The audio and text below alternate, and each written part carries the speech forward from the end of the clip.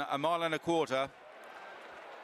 And they're off. Baaeed on the inside in the blue, white epaulet, stripe cap. Jim Crowley. He's on the inside of the field. The others are just spurning the inside rail at the moment. Jim is inching a little bit in behind Bay Bridge. Wants to get off the rail. Doesn't want to get boxed in. It's Stone Age that leads from Royal Champion. Bay Bridge is third. Then My Prospero. Out wide is Adayar. Wide of Baaeed. And then Dubai Honor from Helvic Dream and Mac Swiney at the back of the field as they cover the first quarter mile running down into Swinley Bottom, swinging right-handed, and it's Stone Age and Ryan Moore that takes them along. From Royal Champion in second, Bay Bridge is third. My Prospero, Yellow Jacket in fourth place. Then Adayar in fifth. The long odds-on favourite Baaeed on the inside in sixth place, just ahead of last year's runner-up Dubai Honor, and then Helvic Dream, and at the back of the field is Mac Swiney. They're racing on towards the five furlong marker on the halfway stage. Stone Age by length,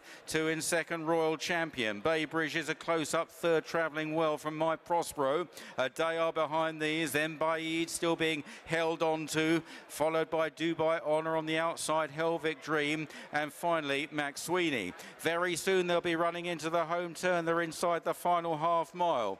So Stone Age leads the way by a length or so. Bay Bridge going up the inside and still travels notably well as Royal Champion comes under pressure. Adayar rushing round runners and joining in then. Uh, then on the heels of them now and switching out wide is Baaeed, but being held in by Dubai Honor at the moment. Adayar might have got first run on Bay Bridge and My Prospero. Baaeed is out after them. Jim Crowley's having to push him along. They race inside the final two. Adayar from Bay Bridge on the far side. Baaeed down the outside is beginning to close now as they race up the hill inside the final fill. And My Prospero battling on. Bay Bridge and Adayar out wide is Baaeed. He needs to find more.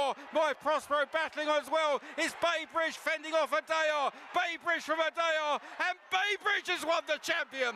Tight second between Adayar and uh, on the outside My Prospero. And Baaeed is beaten. He finished fourth.